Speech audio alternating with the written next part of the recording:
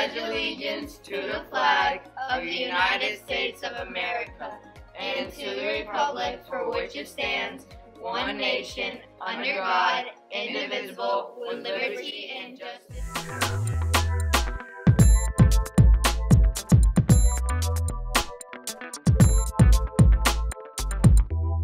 Good morning, Rowlett Middle Academy.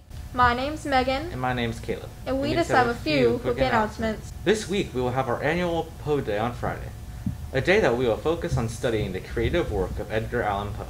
On this day, you'll be in your iLead class for the full day.